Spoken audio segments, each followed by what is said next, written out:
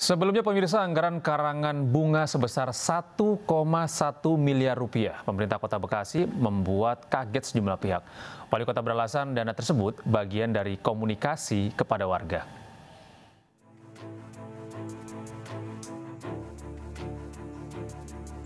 Anggaran pendapatan belanja daerah Kota Bekasi tahun 2022 menjadi sorotan publik. Publik menyoroti pengadaan anggaran karangan bunga sebesar 1,1 miliar rupiah. Seperti yang tertera dalam laman lelang LPSE Kota Bekasi, pengadaan dilakukan oleh pemerintah kota dan sumber anggaran dari APBD Kota Bekasi tahun 2022. Wali Kota Bekasi mengaku pemberian karangan bunga merupakan bagian perhatian pemerintah kepada warganya.